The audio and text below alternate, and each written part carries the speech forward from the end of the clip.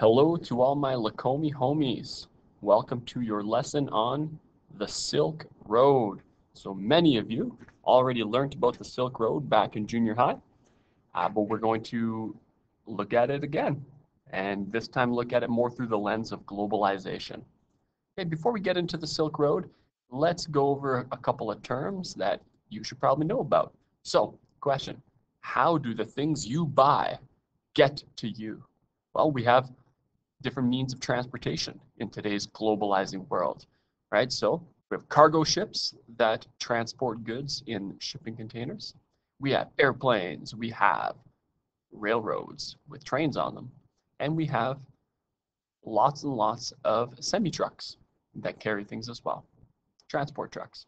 All right, so those are the ways in which things get to us, and this allows for what we call international trade.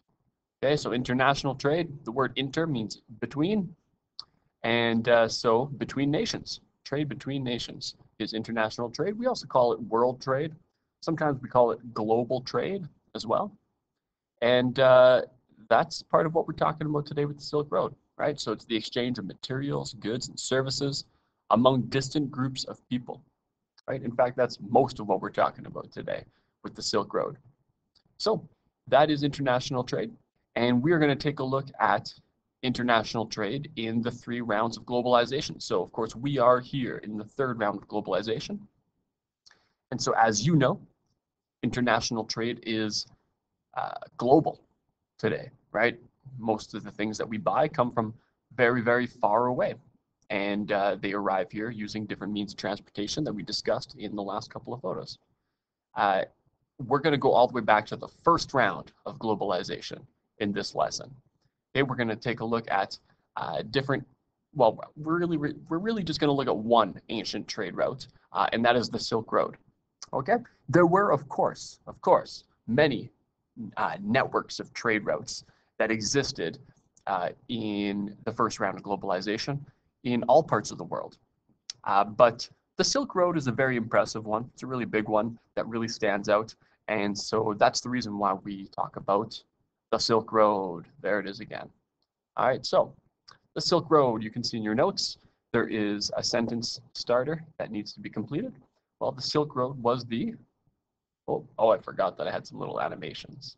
And there we go. The Silk Road was a network of ancient trading routes that connected Asian peoples to European and North African peoples. Okay, so uh, if you look at these pictures, these give you an idea of the way in which goods were transported in the old Silk Road, right? So there were lots of camels. Camels are, of course, uh, great animals for traveling through desolate areas with, um, you know, not very many lakes and rivers, and, you know, places to drink water because camels can go a long time without drinking water. And then when they come across some water, they drink a lot of it. All right, so camels are great, but they don't smell great. So here is the Silk Road at the height, or at its peak um, of its existence. So it was really big, as you can see, right? So we can see that different cities and different towns um, throughout Asia became connected to each other through trade. Uh, and uh, it was possible, and it was, you know, it was desirable for people to trade with each other in Asia because of latitudes, right? You guys learned this in the last couple of lessons. The difference between latitudes and longitudes is a big deal, right? So if you live over here in, let's say, what is now China, and you grow some plants and you have some animals over here that have allowed for a civilization to prosper, well, it's possible for you to sell those same plants and animals to people who live over here maybe. Because even though the terrain is not the same, um, both of these places are along roughly the same latitude, which means the time of day is about the same and the climate is similar, right? And so the plants and animals that are going to grow well over here are also going to grow reasonably well over here. So it's actually worthwhile to trade with each other. And so people from way over here in China would be trading with people way over here in Europe because differences between these two places were relatively small and it was actually worthwhile trading with each other. All right, the same type of trade network was just not possible in the Americas, right? Because look at the Americas. The Americas are very uh, long in terms of longitude, right? So uh, the latitude here versus the latitude here is completely different. And so we have very, very different climates as we travel through the Americas, right? Um, much of this region here is very tropical, right? And so extremely different plants and animals are capable of existing here um, than, let's say, up here near Calgary. So there's there was never any reason for people in uh, you know the the prairies of North America to ever want to do any trading with people in the tropics because the plants and animals that they would trade with each other would not survive in each other's climates, right? And so that's the reason why we end up with a massive trading network in uh, Afro-Eurasia, whereas we don't end up with a massive trading network in the Americas. Now, that is not to say that there were no trading networks in the Americas, because that would be very wrong if I said that. There were, of course, many trading networks, many trading routes, people exchanged with each other. There were big empires in the Americas before the arrival of people from the uh, from Eurasia. Um, however, they weren't as big, right? That, that's that's about it. They just none of them got to the same size as the Silk Road, and none of them allowed for the same exchange of goods and ideas as the Silk Road did. Okay, Silk Road was huge, right? Um, it consisted of about 12,000 kilometers of trails, there were many, many trails. It was not just one road, right? Uh, it was a network of roads, and there were a lot of trading posts along the way. And nobody really traveled the whole trail, right? It's not like one person over here in Japan, in Kyoto, would be like, hey, I really want to buy some spices. So they're going to like walk or ride a camel all the way down into India. No, of course, that did not happen, right? Instead, a person from this city in India would sell something to somebody in this city of India, and that person in this city would sell to somebody over here, who would sell to somebody over here, and somebody over here and here and here, and eventually would make its way to Kyoto in Japan. Um, but it would need to pass through you know, hundreds of people, uh, who each of those people would only travel a small distance in that network of trading routes. Cool. Uh, look at that. Worms. All right we got worms on the screen. Uh, this, these are silkworms, right? So where were they? The worms, they, uh, they are born when an egg hatches and they become a worm, which is a larva. They wrap themselves in a silk cocoon, right? So they wrap themselves in threads, silk threads, and then the cocoon um, eventually allows a uh, caterpillar or a moth or yeah, caterpillar, a moth to come out, right? So the moth comes out and then the moth lays eggs. That is the life cycle of the silkworm, right? And so the part that we're interested in here is the cocoon, right? So when the moth leaves, it leaves behind this cocoon.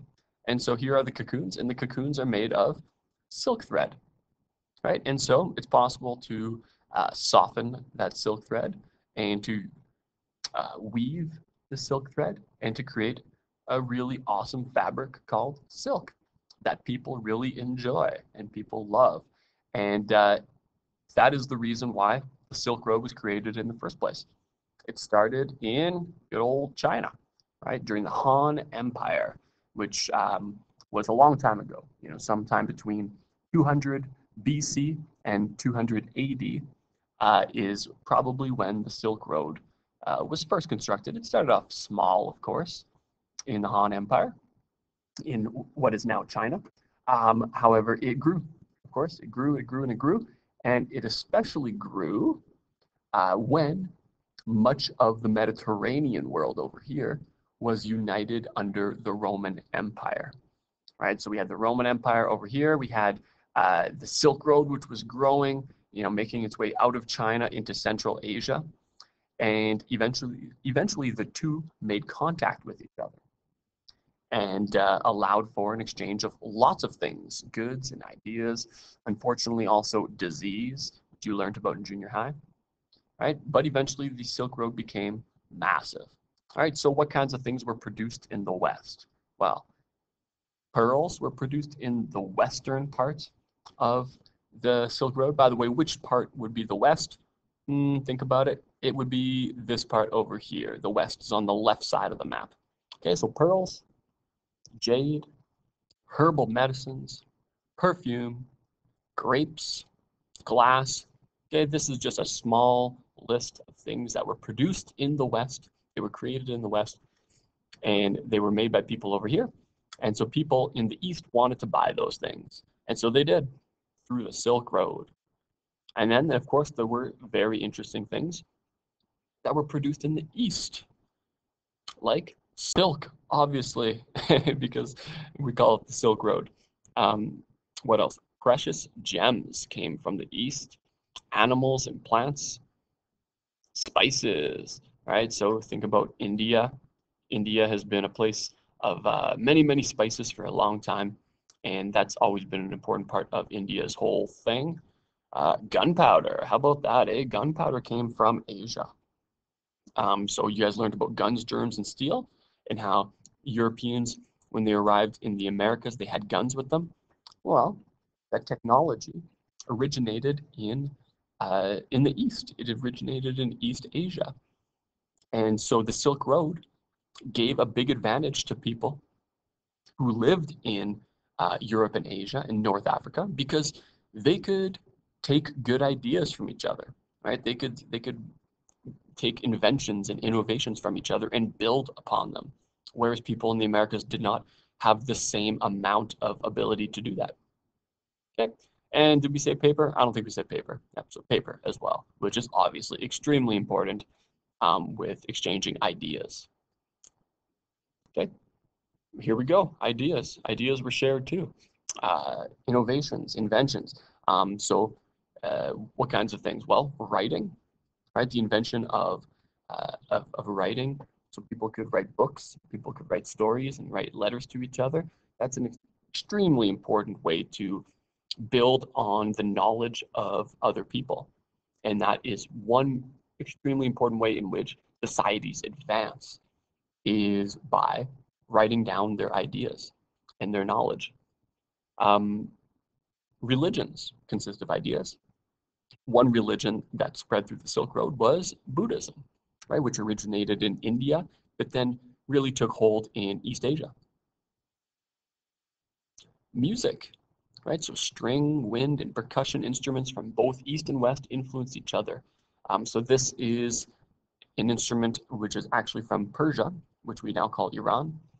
And uh, you can see how it's similar to you know the European oboe, the clarinet, uh, and uh, so instruments from you know one part of the Silk Road would influence other people to create similar instruments. The Silk Road did not last forever. Trade by land became more and more dangerous, and people started. Oh, and people started to trade a lot more by um, through the seas, right? Through the seas on boats, right? And so that is uh, one way in which the Silk Road declines. Okay, so let's leave it at that. That's all. Have a good day. See ya.